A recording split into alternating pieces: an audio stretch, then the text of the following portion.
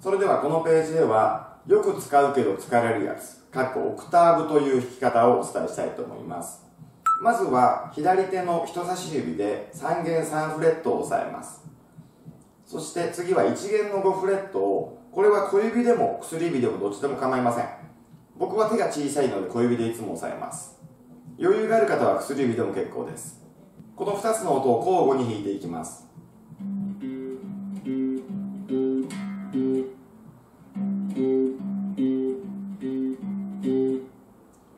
右手は3弦の方が人差し指1弦の方が中指で弾くといいと思います。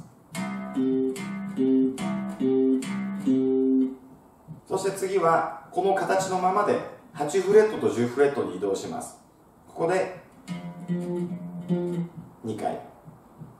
そのまままた2つ移動して10と12に移動してつなげるとこんな感じです。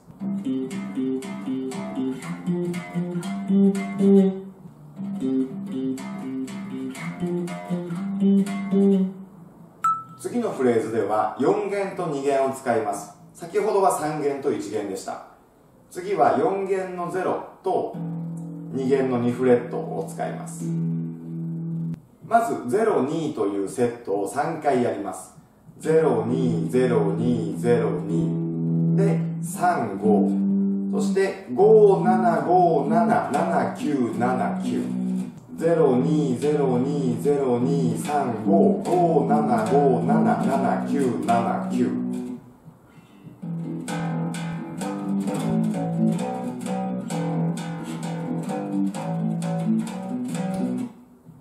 3番目のフレーズでは先ほどまでと違って1オクターブ上の音が規則的に並んでいるわけではありません。まず4弦の3フレットを2回。次は2弦の5フレットを1回。そしてまた4弦3フレットを2回。1弦5フレットを1回。次は35ですね。こういう状態です。ドドパドドパドパ。そして今3フレットと5フレットなんですがこの形のままで6と8に移動します。ここでまたドドパド。そしてまた2フレット上がってドパド。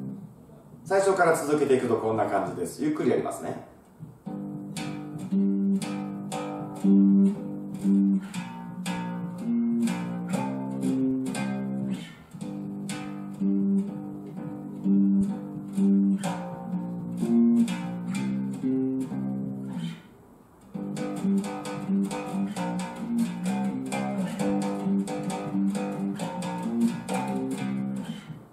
それでは最後のフレーズです。このフレーズでは1オクターブ上の音を2回連続で弾いています。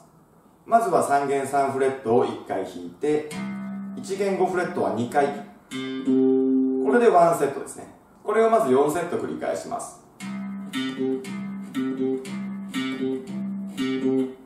そしてこの形のまま8フレットと10フレットに移動して2セット。そして最後は10と12に移動して2セット。1番目のフレーズと同じですね。上の音が2回になっただけです。